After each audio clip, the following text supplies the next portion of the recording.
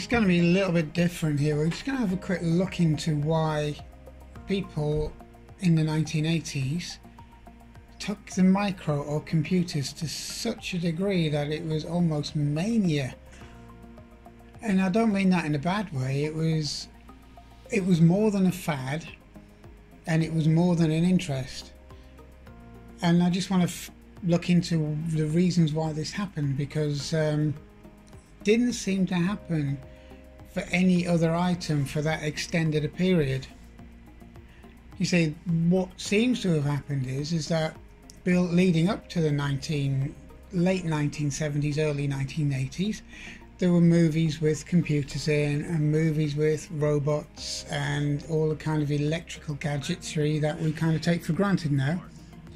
Um, you know, phones, mobile phones, Star Trek with its flip kind of communicator, which we ended up having flip phones and all this kind of thing.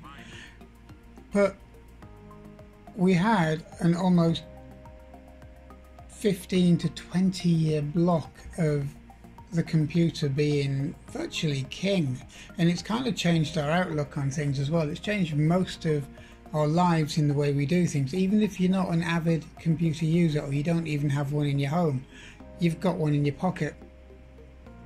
You use one when you go to book your holiday, you use one in stores like Tesco's, Tesco's where they have their self-scanning tills and so on. So everywhere you go, there's a computer. There's a computer at your bus stop controlling when your next bus is coming along, or your train station, and so on. That really didn't happen before the so-called computer revolution took off. Now it would be nice to figure out why it happened that way. Processing system. It's a kit to make your own computer at home. Whatever for? There were quotes around the late 1970s and early 80s saying, Why would anybody need a computer in the home? There wasn't a need for it really, was there? I mean, we had games consoles. They could have just evolved into better games consoles, such as the Xboxes that we have now or the PlayStations we have now. That you could see happening. But to be able to take a machine with nothing on it such as the early micros, which didn't have anything. They had basic, and that was about it. You'd switch it on, you get a ready prompt, and that was it. Didn't do anything. It just sat there blinking at you, waiting for you to tell it to do something. And maybe that was the thing. Maybe it was the fact that we could tell a machine to do something. I mean, computers were big, scary things in the eyes of movies and science fiction.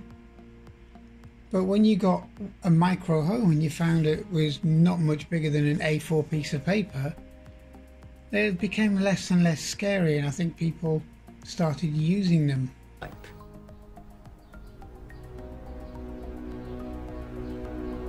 Marvellous.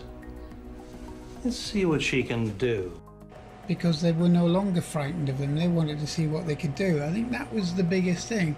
What can it do? At the moment, nothing, but we'll make it do something.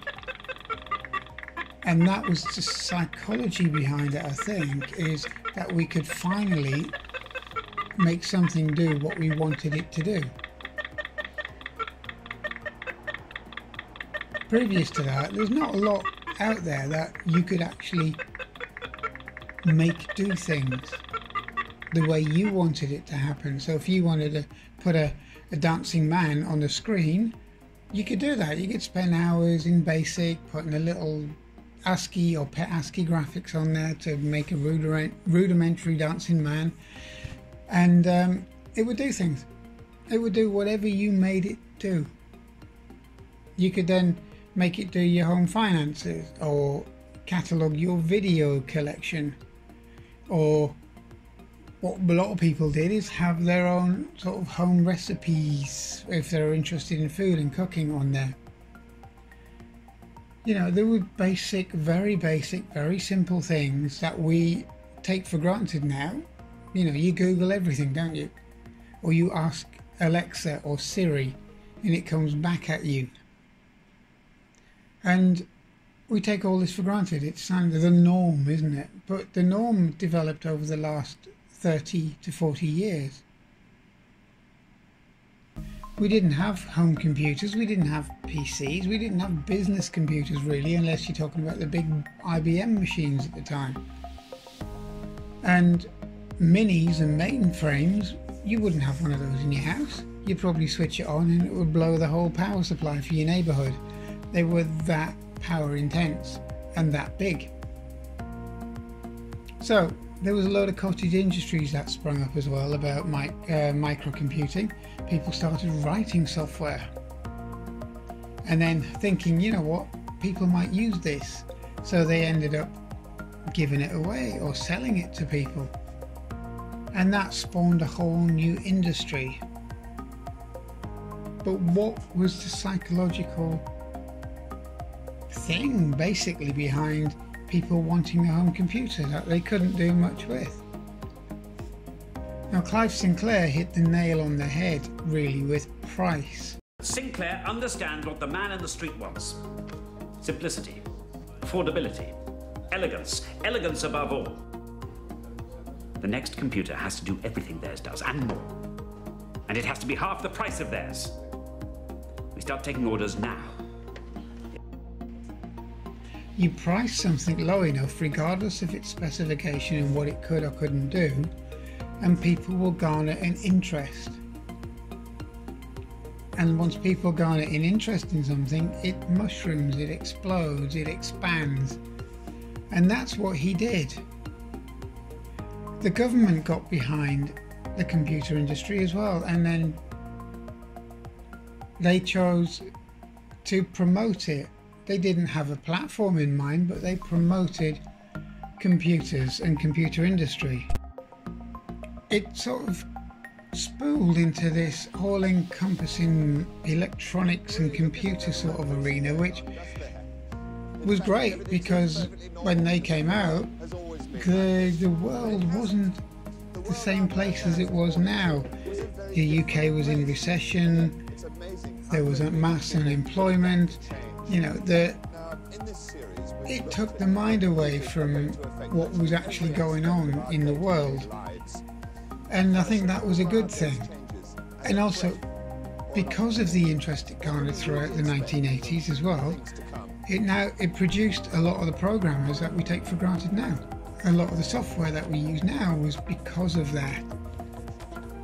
And bedroom coders, as we now know them as, were just bedroom computer users and later geeks and so on, they're the ones that slowly and gradually changed the world. They wrote business software, game software, utilities.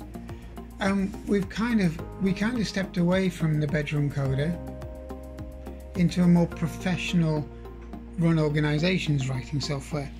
But towards the later years, or the latter years rather, we've gone back to bedroom codings, making apps, apps for mobile phones, which are essentially pocket computers. It's gone full circle and it's a good thing because we have more variety now. Because you had the variety with the original computer users, then it went to a point where it was the big organizations that took over, and now it's back to more variety with software not costing hundreds and thousands of pounds, it costs pennies now, which is where it all started from. You could buy a game for a couple of pounds, then games got to 50, 70, and 100 pounds, which were starting to alienate a lot of their users. And now it's gone back to you can get a game for a few pound or even free. I mean, if you think the um, the playground etiquette now over games consoles is is rife and is prevalent in schools and etc. But it's nothing compared to the early 1980s when people stuck their colours basically to a mark or a make. It was basically Commodore 64s, Sinclair Spectrums, ZX81s, Oric 1s, um, Dragon 32s, and people would stick their colours to the mast, and that was it. They would fight tooth and nail to let you know that they had the best platform, you could do more with it, and so on and so forth. So it was a little bit tribal as well. And that's gone by the by a little, to a certain extent. That sort of thing's kind of gone by the by, and it did for a while. And um, I think there was a big influx of computer users through basically throughout most of the 80s. Um, At Sinclair Computing, we've recently uh, developed a truly groundbreaking machine, uh, the Quantum Leap. and just recently we received our biggest ever order for our latest product, the Electron. and into the fairly early 90s with the, the arrival of the 16-bit machines but then it started to disappear when people especially with the 8-bit machines realized that they kind of dabbled in it they've done as much as they could with it and um, they found that there's not really a massive use for them in the home From next week, the Sinclair QL, now priced at just under £400, is to be reduced by 50%.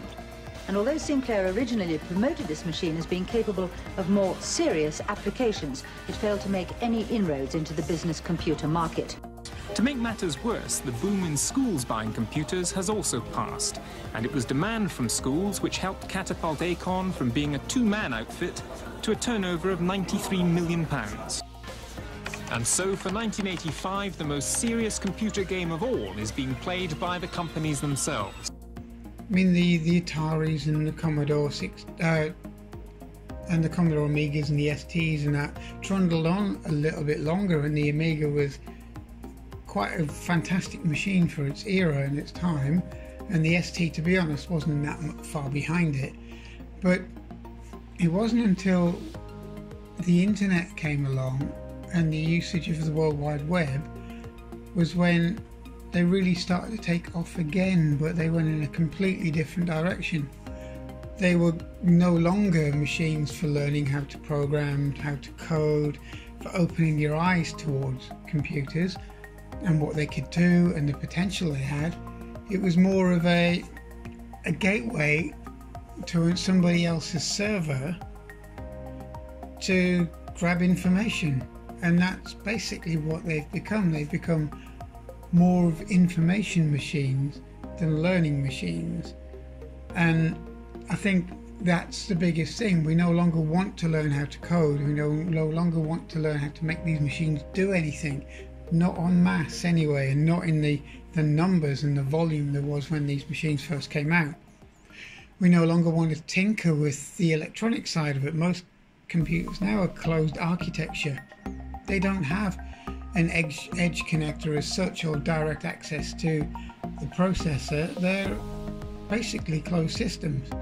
You know, do you have it for a few years? You think it's getting a bit slow, you chuck it away, you get another one. You know, there's um, they're more of a consumable item now. But we've become users now, which is you know the the old Tron movies where everyone was a user. We've become that. We're no longer programmers and innovators. We're users. But I wonder what the 10 year old boy who first got into computers would think now. Would he enjoy the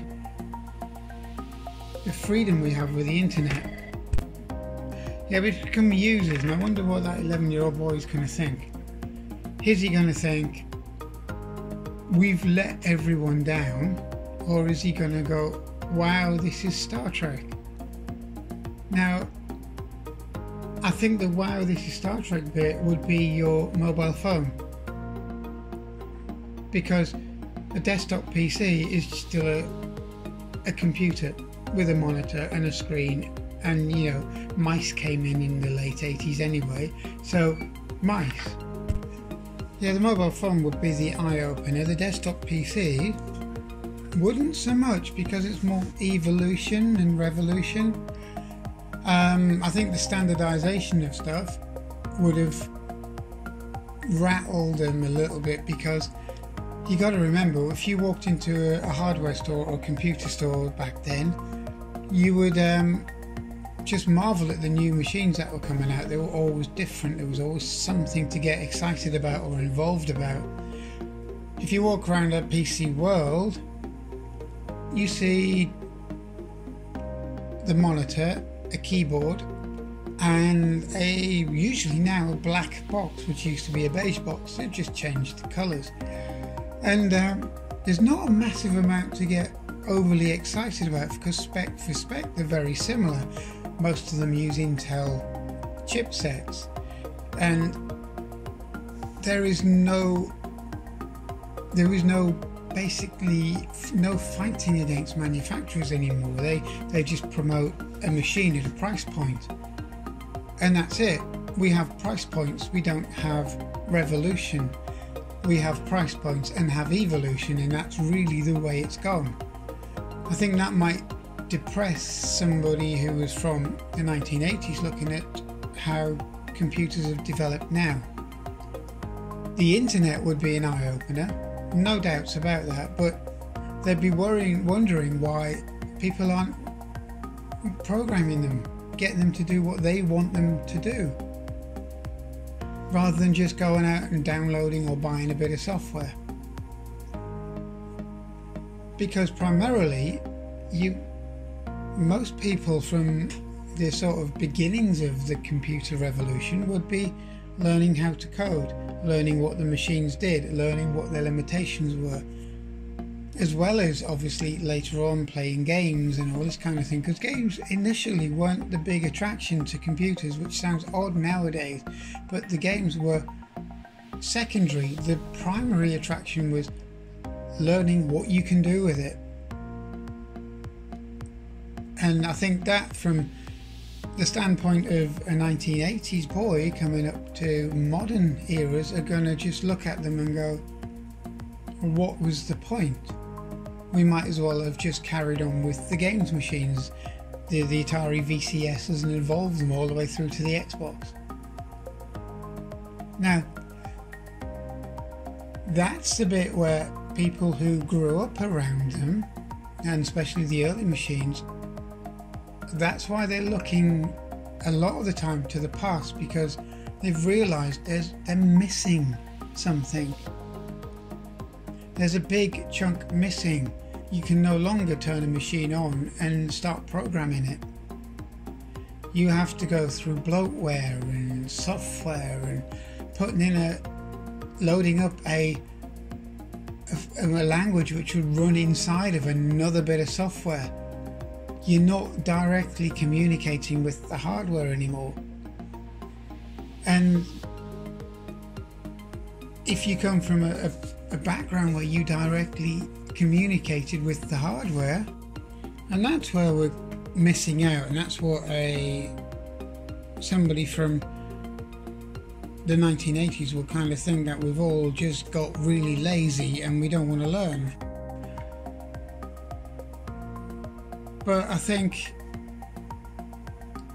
a lot of it stems from the way the government got everybody interested in computer literacy and we became the UK became the most literate computer country in the world, and then it went to a version of um, computer users that they taught in school how to use Windows, how to use word processor, how to use spreadsheet, how to use PowerPoint, and so on, rather than teaching people how you can make the stuff, how to program them, and I think that would make somebody despair if they jumped from there till now, from the 80s to now, and skipped out that bit in the middle. They wouldn't understand why we aren't writing everybody. Why isn't everybody writing their own software? Why can't any, everyone code? Why can't people just design interfaces off that hang off the back of your machine to do various jobs and tasks? So I think that's where we differ now. We are users, we're not programmers.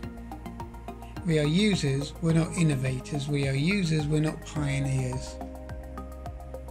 And that's the whole pioneering spirit around them. We've lost it. We expect so much from our machines. We expect them to be all encompassing, ever useful. We expect them to do our online shopping, our ordering, our game, uh, our TV. We expect all of that. But we're losing out because one machine is like jack of all trades. You know, they're, they're actually master of none. We need to go back, I think, to having dedicated systems or machines or computers or equipment to do dedicated jobs because they're better, they're more stable.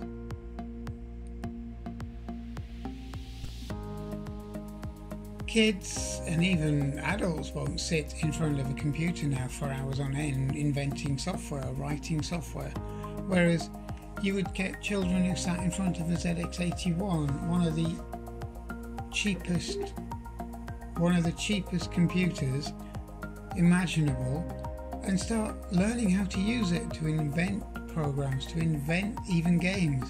And they would spend days, weeks in front of it until it worked, until they got it right.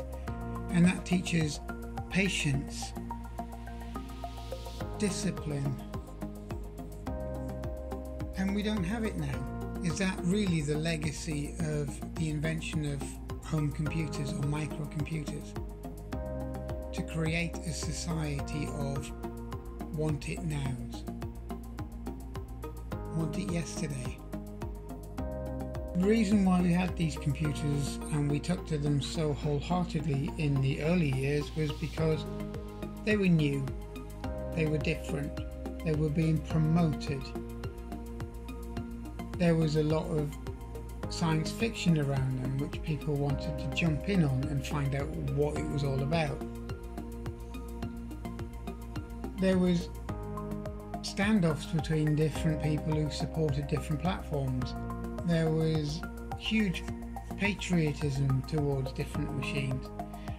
And, you know, it was healthy. It's got us to where we are today, but we had a bit in the middle where people kind of gave up on them.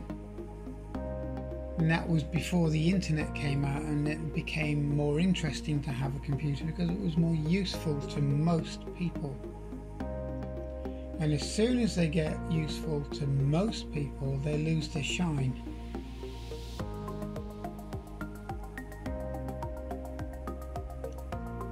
So I hope it kind of makes sense. It was a lot longer than probably what you've heard on here because it was. You could, could have gone on forever about it because it's a subject that's close to many people's hearts, which is why there's a big retro scene around for the old 8 bit and 16 bit machines and it seems to be even retro for people who weren't even there at the time. It, it's quite weird seeing uh, millennials basically talking about old machines, which, yeah, they, they know about them, but they didn't really know of them because they weren't there. But it's nice to see that people are looking back and f- mostly for the right reasons. Thank you for listening.